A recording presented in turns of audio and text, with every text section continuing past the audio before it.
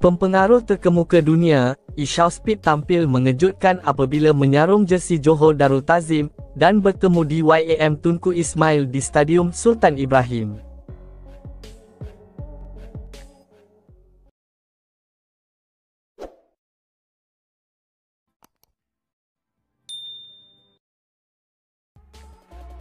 Ishao Speed sebelum ini, sudah pun tiba di Malaysia untuk mengadakan jelajah di Asia Tenggara, sambil menikmati budaya di setiap negara.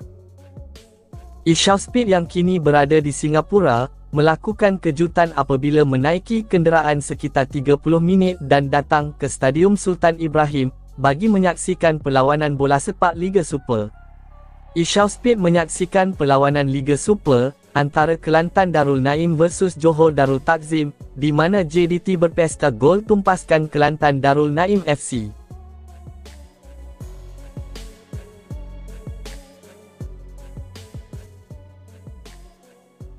JDT cemerlang menewaskan cabaran Kelantan Darul Naim, dengan penuh bergaya di Stadium Sultan Ibrahim apabila merekodkan jaringan besar 6-1. JDT mempamerkan aksi dominan ke atas Kelantan Darul Naim, namun terpaksa menunggu minit ke-42 untuk gol pembukaan, menerusi jaringan Bergson da Silva.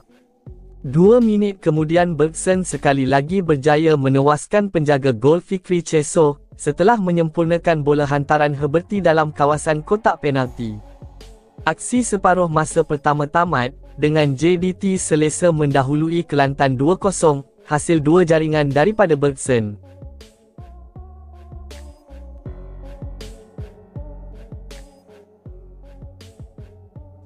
Memasuki babak kedua perlawanan, giliran Arif Aiman menambah duka Kelantan Darul Naim apabila menghadiahkan gol ketiga JDT pada minit ke-55 perlawanan.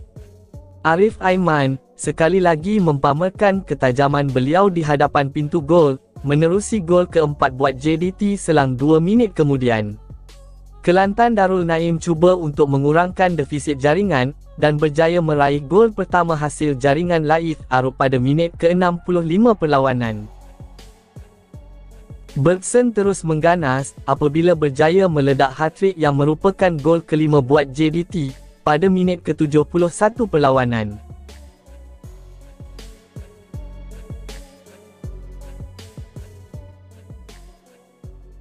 Aksi serba-serbi tidak menjadi buat pasukan kendalian Pak Jae Hong apabila dibolosi kali ke-6 setelah Umair Aznan menjaringkan gol sendiri pada minit ke-75.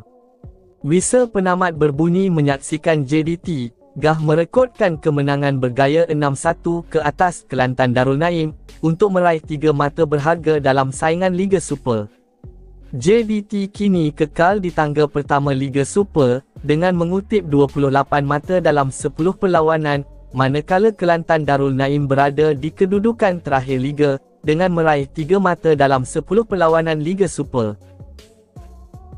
JDT seterusnya, akan menentang Kuching City manakala Kelantan Darul Naim, akan bertemu cabaran Negeri Sembilan pada 27 September ini, bagi saingan Liga Super 2024-2025.